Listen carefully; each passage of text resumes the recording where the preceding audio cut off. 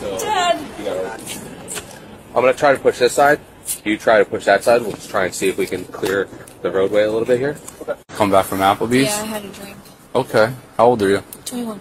You're 21. Yeah. Six six five. We're just gonna play this out for now. My dad is, um, Uh, is we're Sean. Lee.